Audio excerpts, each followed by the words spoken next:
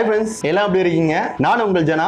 Welcome to எனக்கு தெரிஞ்ச சொல்றேன். இன்னைக்கு என்ன டாபிக் பார்க்க போறோம்னா ஆறு வருஷத்துக்கு முன்னாடி நடந்த ஒரு விஷயம். இது வந்து பாத்தீங்கன்னா ஒரு உணவு சம்பந்தப்பட்ட விஷயம். இது உணவு சம்பந்தப்பட்ட விஷயம்னு சொல்றதை விட ஒரு ஜென்ரேஷனுடைய ஆரோக்கியத்தையே கெடுக்கக்கூடிய ஒரு விஷயத்தை பத்தி தான் பார்க்க போறோம். நிறைய பேர் கெஸ் பண்ணிருப்பீங்க. நான் எதை பத்தி பேச போறேன்னு சொல்லிட்டு. ஆமாங்க மேகி பத்தி தான் பேச போறோம். நம்ம இந்தியாவில் ரெண்டாயிரத்தி பதினஞ்சுல தடை செய்த ஒரு பொருள் அதிக அளவுல வந்து குப்பையில கொட்டுற மாதிரியும் நியூஸ் பார்த்தோம். ரோட்லாம் போட்டு அந்த மேகியை எரிச்சு நிறைய பேர் போராட்டம் பண்ணியும் பார்த்தோம். அப்படிப்பட்ட ஒரு விஷயத்த எப்படி நம்ம மார்க்கெட்ல திருப்பியும் கொண்டு வந்தாங்க? இப்போ மறுபடியும் தரமற்ற பொருள்னு சொல்றாங்க. அதை பத்தி தான் நம்ம டீட்டெயிலா பார்க்க போறோம். வாங்க வீடியோக்குள்ள போலாம். இந்த நெஸ்லே கம்பெனி பாத்தீங்கன்னா சாக்லேட்ஸ் இந்த பால் பவுடர் இந்த மாதிரி விஷயத்திலும் தயாரிக்கிறாங்க. டூ தௌசண்ட் ப்ராடக்ட் மேல அவங்க கிட்ட இருக்கு. ரெண்டாயிரத்தி பதினஞ்சுல குஜராத்ல ஒரு லேப்ல டெஸ்ட் பண்றாங்க. மேகியோடைய தரத்தை பத்தி செக் பண்றாங்க. அப்படி அந்த மேகியை டெஸ்ட் பண்ணும்போது பாத்தீங்கன்னா இதுல அதிக அளவுல லெட் அதிக அளவுல ஒரு சோடியம் சோடியம் வந்து பாத்தீங்கன்னா என்ன சோடியம்னா எம்எஸ்ஜின்னு சொல்லுவாங்க. மோனோசோடியம் குளுக்கமேட் ஒரு பொருள். அது வந்து பாத்தீங்கன்னா வேற ஒன்றும் இல்லைங்க அஜினமோட்டோ.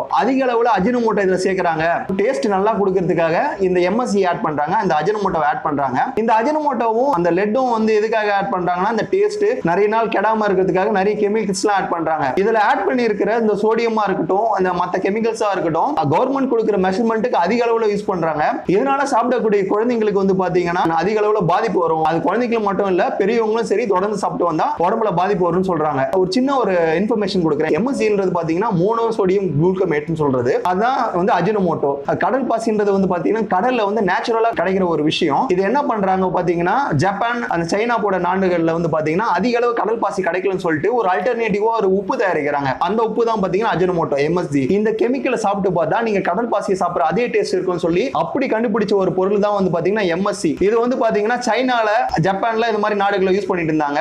இப்போ நம்ம ஊர்ல வந்து இந்த சைனீஸ் ஃபுட்டுங்களாம் வர ஆரம்பிக்க காலத்துல வந்து என்ன ஆகுதுன்னா நம்ம நாட்டுக்கு வந்து அதை இம்போர்ட் பண்றாங்க. இதை இம்போர்ட் பண்ணி நிறைய ஃபாஸ்ட் ஃபுட்லாம் வந்து பாத்தீங்கன்னா கிட்ட போய் நீங்க அவங்க சமைக்கும் போது பாத்தீங்கன்னா சின்ன சின்ன நீட் நீட்டா ஜீரகம் மாதிரி இருக்கும் வெள்ளையா. அதுதான் வந்து பாத்தீங்கன்னா அஜனமோட்டோ இப்படிதான் நம்ம நாட்டுக்கு அது வருது. சோ இதுதான் அந்த அஜனமோட்டோ நம்ம இந்தியாவில் வர காரணம். இது என்ன பண்றாங்க நிறைய பேர் வந்து ரசத்துல போடுறது கல்யாணத்துல சாம்பார்ல போடுறது இது மாதிரி நிறைய பேர் அதோடைய பயன்பாடு தெரியாமையே அது எந்த அளவு கேடு விளைக்கும்னு தெரியாம நிறைய பேர் யூஸ் பண்ண ஆரம்பிக்கிறாங்க. இது என்ன பண்றாங்க இதே அஜினமோட்டோ தான் வந்து பாத்தீங்கன்னா குழந்தைங்களுக்காக ப்ரிப்பேர் பண்ற இந்த மேகிலேயே இந்த அஜினமோட்டோ அதிக அளவில் ஆட் பண்றாங்க. காரணம் வந்து பாத்தீங்கன்னா இந்த ஒரு ப்ராடக்ட்டை சாப்பிட்டா மத்த ப்ராடக்ட்டை விட ஒரு டிஃப்ரெண்டான டேஸ்ட் கிடைக்கும். அந்த டேஸ்ட் வந்து பிடிக்கிற அளவுக்கு இருக்கும். ஸோ இதுதான் அவங்களோட கான்செப்ட் பாத்தீங்கன்னா ஏன் இந்த கெமிக்கல்ஸ் அதிகமாக ஆட் பண்றாங்கன்னு காரணத்தை பார்க்கலாம். இப்போ வந்து ஒருத்தவங்க வந்து ஆயிரம் மேகி ப்ராடக்ட் தயாரிக்கிறாங்க. இந்த ஆயிரம் ப்ராடக்ட்டும் சீக்கிரமா வித்துடுது. இந்த ப்ராடக்ட் அதிகமா சேல் ஆகும் சொல்லிட்டு பத்தாயிரம் ப்ராடக்ட் ரெடி பண்றாங்க வச்சுங்களேன் இந்த பத்தாயிரத்துல என்ன ஆயிடும்? ஒரு அஞ்சாயிரம் ஸ்டாக் மட்டும் போயிட்டு மிச்சம் இருக்கிற அஞ்சாயிரம் ப்ராடக்ட் வந்து ஸ்டாக் ஆயிடுது. இதுக்கு வந்து இவங்க கவர்மெண்ட் சொன்ன மெஷர்மெண்ட்ல தயாரிச்சா இத்தனை நாட்குள்ள அந்த மிச்சம் இருக்கிற அஞ்சாயிரம் ப்ராடக்ட் கெட்டு போயிடும். அப்ப என்ன இவங்க பிளான் பண்றாங்கன்னா இந்த ப்ராடக்ட் கெடாம இருக்கிறதுக்கு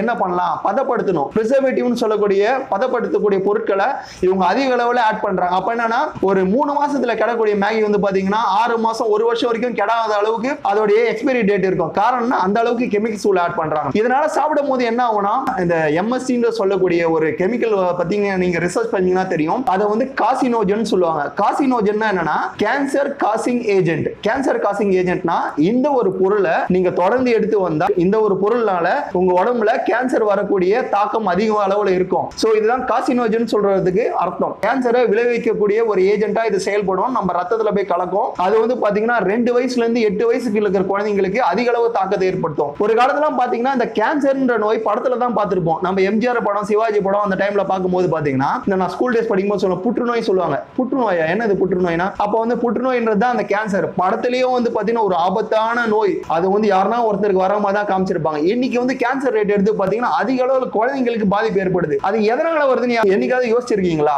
ஏதோ ஒரு நல்ல மனசு இருக்கிறவர் நேர்மையா நம்ம மக்களுக்காக ஏதாவது ஒரு நல்லது செய்யணும்னு சொல்லிட்டு கஷ்டப்பட்டு ஒரு லேப்ல ரிசர்ச் பண்ணி இதை கண்டிப்பா அந்த ப்ராடக்ட்டை தடை செஞ்சே ஆகணும் அப்படின்னு சொல்லிட்டு கஷ்டப்பட்டு போராடி அது கோர்ட் வரைக்கும் கொண்டு போயிட்டு கோர்ட்ல தீர்ப்பு கொடுத்து அதை தடை செய்யுங்கன்னு சொல்லிட்டு ஐநூறு கோடி மதிப்புள்ள பொருட்கள்லாம் அவங்க ரிட்டர்ன் எடுத்தாங்க ரெண்டாயிரத்தி பதினஞ்சுல. மேகி மேகி கம்பெனிக்கு ஒரு பெரிய நஷ்டம். அது நஷ்டம்னு சொல்றதை விட அவ்வளவு ஒரு தீங்கான பொருளை நம்ம தடை செஞ்சு திருப்பி அனுப்பணும். நிறைய பேர் போராட்டமும் பண்ணாங்க ரோட்ல இறங்கி. அதுக்காக நிறைய என்ஜிஓ போராடினாங்க. அது நிறைய பொருளை போட்டு எரிச்சாங்க. இவ்வளவு விஷயம் பண்ணி தடை செஞ்சுட்டு இதுக்கப்புறம் யூஸ் பண்ண மாட்டோம்னு நினைச்ச ஒரு பொருளை அடுத்த ஆறே மாசத்துல ஒரு பெரிய ஸ்டாரை வச்சு ஒரு ஆடு வருது. இந்தியா லெவல்ல ஒரு மாஸ் கிரியேட் பண்றதுக்காக அவங்க என்ன பண்ணாங்கன்னா ஃபர்ஸ்ட் அமிதாப் பச்சனை வச்சு ஆட் பண்ணாங்க. நம்ம தமிழ்நாட்டை டார்கெட் பண்றதுக்கு யாரை யூஸ் பண்ணாங்க? அவங்க பேரு ஆ இந்த முனி படத்துல இந்த அன்னி கேரக்டர் பண்ணியிருப்பாங்க பாத்தீங்களா லாரன்ஸ்க்கு. அவங்க பேர் தேவதர்ஷன் நினைக்கிறேன். அவங்க வந்து பாத்தீங்கன்னா அந்த ஆடு கூட செம காமெடியா இருக்கும். என்னன்னா அவங்க பொண்ணு வந்து ஏதோ ஒரு போட்டியில ஜெயிச்சுட்டு கப் எடுத்துட்டு வரும். அந்த பொண்ணுக்கு சர்ப்ரைஸ் கொடுக்கறதுக்காக அவங்க மேகி செஞ்சு கொடுப்பாங்க டூ மினிட்ஸ்ல அவங்களுக்கு சர்ப்ரைஸ் கொடுக்குறது வேற பொருளே கிடைக்கல போல. இந்த மேகி தான் கிடைச்சது போல. இதுக்கு அவங்க ஏதோ உப்புமா கூட கலரி கொடுத்துக்கலாங்க அந்த குழந்தைக்கு. கொஞ்சம் ஆரோக்கியமாவது இருந்திருக்கும். ஸோ இப்போ எப்படின்னா இப்படிதான் அவங்க ப்ரொமோட்டே பண்றாங்க. என்னுடைய பர்சனல் எக்ஸ்பீரியன்ஸை சொல்றேன் மேகில எனக்கு நல்லா ஞாபகம் இருக்கு. எங்களுடைய ஸ்கூல்ல வந்து பாத்தீங்கன்னா ஒரு கேம்பெயின் நடத்தினா மேகி அப்போ வந்து ஒரு ஃபிஃப்த் சிக்ஸ்த் ஸ்டாண்டர்ட் படிச்சிருப்பேன். எனக்கு நல்லா ஞாபகம் அப்போதான் வந்து பார்த்தீங்கன்னா இதை நாங்க தான் நைன்டிஸ் கிட் ஆச்சு. அந்த டைம்ல எப்படி இதை ப்ரொமோட் பண்ணாங்கன்னு சொல்றேன். அதான் இந்த டெம்போ டேவலர் மாதிரி இருக்கும். பேக் சைடில் ஓப்பனிங்லாம் இருக்குல்ல அங்கேருந்து சமைக்கிற மாதிரி அதிலே ஒரு அடுப்பு செட்டப்லாம் வச்சு என்ன பண்றாங்க எல்லா பசங்களையும் கியூல நிற்க வச்சுட்டாங்க. மேகி செஞ்சுட்டு ஒரு பிளேட்ல போட்டு எல்லாருக்கும் கொடுக்குறாங்க ஃப்ரீ அப்படியே கொடுத்ததோட இல்லாமல் இதை சாப்பிட்டு பாருங்கன்னு சொல்லிட்டு ஒரு சின்ன சாம்பிள் பாக்கெட் கொடுக்குறாங்க. அப்போ வந்து அந்த சாம்பிள் பாக்கெட் மேகி வந்து ஐம்பது கிராம் பாக்கெட் மூணு ரூபான்னு நினைக்கிறேன். அது என்னன்னா பசங்களை சாப்பிட வச்சுட்டு இந்த சாம்பிள் பாக்கெட்டும் கொடுத்து அனுப்புவாங்க. இப்போ வந்து பார்த்தீங்கன்னா பேரண்ட்ஸ் மூலியமா ஒரு ப்ராடக்ட் வரதை விட குழந்தைங்க மூலயமா பேரண்ட்ஸ் கிட்ட போச்சுன்னா நல்லா தெரியும்ல. டிவியில் ஏதோ ஒரு ஆடை பார்ப்பாங்க. பார்த்துட்டு அப்பா இதை வாங்கிட்டு அம்மா இதை வாங்கிட்டு வாங்க வாங்கிட்டாங்கன்னு சொல்லுவாங்க அதே டார்கெட் தான் அவங்களுக்கு. குழந்தைங்களை டார்கெட் பண்ணி தான் இது அதிக அளவில் இந்தியாவில் மார்க்கெட்டிங் ஆரம்பிச்சு. இதுதான் அவங்களோட ஸ்ட்ராட்டஜி எப்படின்னா இப்போ எனக்கே நல்லா நான் வரைக்கும் எனக்கு அந்த சின்ன பாக்கெட் சாம்பிள் பாக்கெட் கொடுத்தாங்க. அதை வீட்டில் எடுத்துட்டு போய் கொடுப்பாங்க. அவங்களுடைய தாட் என்னன்னா இந்த கவரை காமிச்சு இதை எங்களுக்கு சமைச்சு கொடுத்தாங்க. சூப்பராக இருந்தது. சாம்பிள் கூட கொடுத்தாங்க. நம்ம செஞ்சு சாப்பிட்டு பார்க்கலாம் சொல்லிட்டு இதுக்கப்புறம் இதே வாங்கணும்னு சொல்லிட்டு பண்ணுவாங்க. ஸோ இப்படி தான் மேகி இந்தியாவில் ஸ்ட்ராங்காக ஒரு பேஸ்மெண்ட் போட்டுதுங்க. இது ஆறு வருஷத்துக்கு முன்னாடி நடந்த கதை. சரி ஜனா நீ எதுக்கு இதை இப்போ பேசுறேன்னு நீங்க கேட்கலாம். இது வந்து பாத்தீங்கன்னா ரீசெண்டா ஒரு இன்ஃபர்மேஷன் லீக் ஆயிருக்கு. என்னன்னா நெஸ்லே கம்பெனியில நடந்த ஒரு இன்டர்னல் மீட்டிங்ல அவங்களுடைய ப்ராடக்ட்லாம் ரிவ்யூ பண்றதுக்காக ஒரு ரிப்போர்ட் ப்ரிப்பேர் பண்ணிருக்காங்க அந்த ரிப்போர்ட்ல என்னென்ன சொல்லியிருக்காங்கன்னா நம்மளோட எழுபது சதவீதமான ப்ராடக்ட் தரமற்றது மனுஷங்க சாப்பிட்றதுக்கு தகுதியற்றதுன்ற ஒரு ரிப்போர்ட்டை அவங்க இன்டர்னலா சப்மிட் பண்ணிருக்காங்க இப்படி ஒரு ரிப்போர்ட்டை சப்மிட் பண்ணிட்டு இதனால அந்த மேனேஜ்மெண்ட்குள்ள ஒரு டிஸ்கஷன் பண்ணிருக்காங்க என்னன்னா இதுல இந்த அளவுக்கு கெமிக்கல்ஸ் இருக்கா? நம்ம முடிஞ்ச அளவுக்கு இதுல இன்னும் அந்த கெமிக்கல்ஸ்லாம் குறைக்க பார்க்கலாம். அந்த மாதிரி ஒரு டிஸ்கஷன் போயிட்டு இருக்கு மறுபடியும் அந்த கம்பெனிலே இருந்து ஒரு மனசாட்சி இருக்கக்கூடிய ஒரு எம்ப்ளாயி என்ன பண்ணிருக்காங்கன்னா அந்த டாக்குமெண்ட்டை ஆன்லைன்ல லீக் பண்ணிருக்காங்க அந்த ரிப்போர்ட்டை அந்த ரிப்போர்ட் வந்து லீக் ஆனது இப்போ நியூஸ் சேனல்லாம் அந்த ரிப்போர்ட் ஆன்லைன் மூலயமா சர்க்குலேட் ஆகி நியூஸ் சேனல்ல இதை பத்தி ஒரு இன்ஃபர்மேஷன் வந்தது. ஒரு ஒன் மினிட் வீடியோ வந்தது. இந்த மாதிரி ஒரு இன்ஃபர்மேஷன் நம்மளுக்கு கிடைச்சது. ஸோ அதை பத்தி தான் நான் டீட்டெயிலாக பேசுறதுக்காக இந்த வீடியோ நான் கிரியேட் பண்றேன். இப்போ என்ன சொல்றாங்கன்னா அவங்க கம்பெனிலேயே வந்து அவங்களுடைய ப்ராடக்ட் தரமாட்டுறதுன்னு சொல்ற அளவுக்கு வந்துடுச்சு. அந்த ஒரு இன்ஃபர்மேஷன் ஆன்லைன்ல லீக் ஆயிடுச்சு. அப்ப இந்தியாவில் மட்டும் எப்படிங்க அந்த ப்ராடக்ட் ப்ராடக்ட்டை மறுபடியும் சேல் பண்ண ஆரம்பிச்சாங்க. காரணம் என்னன்னா நம்ம மக்கள் கிட்ட இருக்கிற ஒரு பெரிய வியாதி சொல்லுவாங்க பாத்தீங்களா ஒரு படத்துல தேசிய வியாதின்னு சொல்லிட்டு மறதி அந்த மறதின்ற ஒரு காரணத்தை வச்சுதான் இந்திய மக்களை நல்லா வச்சு செய்யறாங்க. அவங்களுடைய லாபத்துக்காக நம்ம என்ன தின்னாலும் அவங்களுக்கு பரவாயில்ல. சோ இந்த மாதிரி மேகியை வந்து ரொம்ப வருஷமா மக்கள் மனசுல வந்து ஒரு சீக்கிரமா செய்யக்கூடிய ஒரு விஷயமா டூ மினிட்ஸ்ல செஞ்சலாம் டூ மினிட்ஸ்ல செஞ்சிடலாம். இன்னைக்கு சமைக்க தெரியாதவங்க கூட மேகியை ஈஸியா செஞ்சிடலாம். ஒரு டம்ளர் தண்ணி ஊத்திட்டு அதை தூக்கி பாக்கெட்டை போட்டு மசாலா பிரிச்சு கொட்டி கொதி கொட்டா போதும் மேகி ரெடி இவ்வளவுதாங்க. ரெண்டு நிமிஷம் சொல்றாங்க. ஆக்சுவலா பார்த்தா ஒரு அஞ்சு நிமிஷம் எடுக்கணும் வச்சுங்களேன். இவ்வளவுதான். இந்த அஞ்சு நிமிஷத்துல சீக்கிரமா செஞ்சு அவங்க சக்குன்னு சாப்பிட்டுட்டு ஒரு ஆபீஸ் போறவங்களும் சரி ஸ்கூல்ல இருந்து வந்து ஈவினிங் ஸ்நாக்ஸ் சாப்பிட்ற குழந்தைங்களுக்கும் சரி அம்மா கூட செஞ்சு கொடுத்துருவாங்க. நான் என்ன சொல்ல வரேன்னா நம்ம நாட்டிலேயே வந்து ஒரு ஆய்வு கூடத்துல இந்த பொருள் வந்து தரமற்றதுன்னு சொல்லி கோர்ட்ல போயிட்டு இதை தடை செஞ்சு அந்த பொருளை மறுபடியும் அவங்க ஒரு பெரிய நடிகர்களை வச்சு மார்க்கெட்டிங் பண்ணி மறுபடியும் கொண்டு வந்துட்டாங்க. எங்களுடைய பொருள் தரமானதுன்னு சொல்லிட்டு. எங்களுடைய பொருள் தரமானதுன்னு சொல்லி ஆறு வருஷம் கழிச்சு ஒரு ரிப்போர்ட்ல என்ன சொல்லுது? நம்மளுடைய பொருள் தரமற்றன்னு சொல்றாங்க. அப்போ உண்மையிலேயே என்ன நடந்திருக்கும்? பணம் விளையாடு இருக்கு. அவ்வளவுதான். நமக்கு உண்மைன்றது எப்பனா ஒரு வாட்டி தாங்க வெளியே வரும். அந்த உண்மையை வந்து நீங்க ம- கொண்டு போயிட்டு நீங்க பாதுகாப்பா இருங்க. உண்மையிலேயே சொல்றேன் என் பையனுக்கு ஏழு வயசு ஆக போகுது. இன்னைக்கு வரைக்கும் ஒரு நாள் கூட அவங்களுக்கு எங்க வீட்டுல மேகி சமைச்சு செஞ்சு கொடுத்தது கிடையாது. காரணம் வந்து பாத்தீங்கன்னா அதுல அஜினமோட்டா இருக்குன்னு சொல்லிட்டு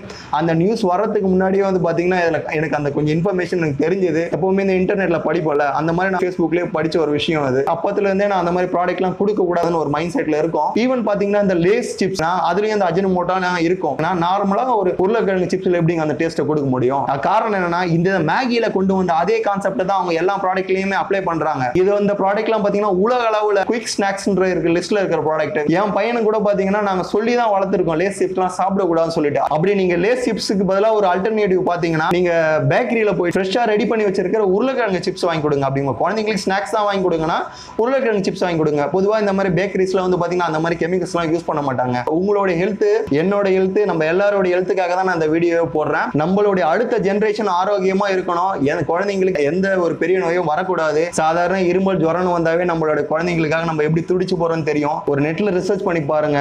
எவ்வளவு குழந்தைங்க கேன்சர்ன்ற ஒரு கொடிய நோயால பாதிக்கப்படும் சொல்லிட்டு இந்த குழந்தைங்களாம் என்னங்க பாவம் பண்ணாங்க? இது வந்து பாத்தீங்கன்னா அப்பா அம்மாவுடைய தப்பு. அப்பா அம்மாவுடைய தப்புன்னு சொல்றதை விட ஒரு குழந்தைங்களுக்கு அம்மா தான் ஃபீட் பண்ணுவாங்க. எல்லா அம்மாக்களுக்கும் நான் ஒரு ரெக்வஸ்ட் சொல்றேன். தயவு செஞ்சு இதுக்கப்புறம் மேகி எல்லாம் கொடுக்காதீங்க. புரியுது. குழந்தைங்க இட்லி சாப்பிடுறதோ தோசை சாப்பிடுறதுக்கோ கஷ்டப்படுவாங்க. அந்த டேஸ்ட் பிடிக்காது. இதே மேகி செஞ்சு கொடுத்தா சீக்கிரமா சாப்பாடு ஊட்டிட்டு முடிச்சிடலாம். நீங்க அடுத்த வேலையை போய் பார்க்கலாம். அந்த ரிஸ்க்கை மட்டும் நீங்க எடுக்காதீங்க.